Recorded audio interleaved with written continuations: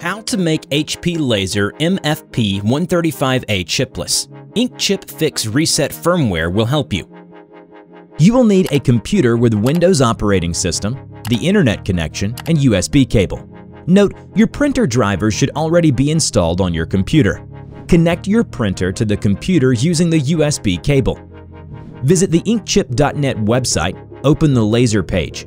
Choose the language to download the software. Then launch the software and check if your printer is on, connected to the computer through USB, an internet connection is established, and the driver is installed. The program will automatically identify your firmware version and generate an appropriate file for your printer model. Click Next. Click Buy to proceed to checkout. The payment page will open. If it's not for some reason, press Copy button and insert it into your browser's address bar. It will allow you to proceed to payment for the chipless firmware. Enter the data.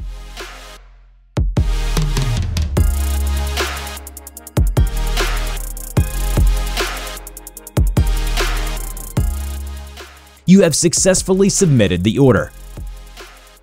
If you see this message during the payment, it means that your printer model is not supported for chipless firmware. Send us your data and we will work on it. If you see this message during the payment, it means that your printer is not recognized. Check once more if your printer is on, connected to the computer through USB only, an internet connection is established, and the driver is installed.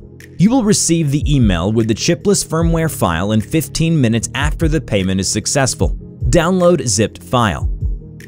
To install the chipless firmware, you need to enter recovery mode. Turn the printer off and wait at least one minute hold the cancel button down and then press the power button until the download mode press key message appears on the LCD.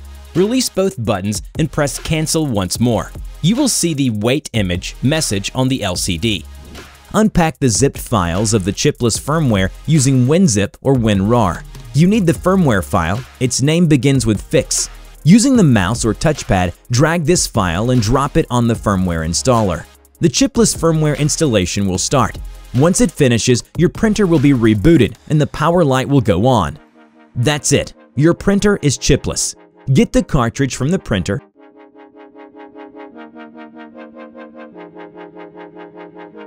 tape the contacts and insert the cartridge back into the printer.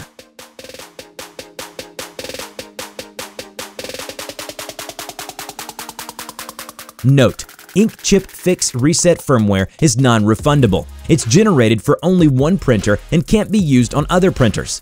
Please note you shouldn't update the printer's firmware. Otherwise, it will reset to default settings, so you will need to recover the chipless firmware. Wishing you good prints!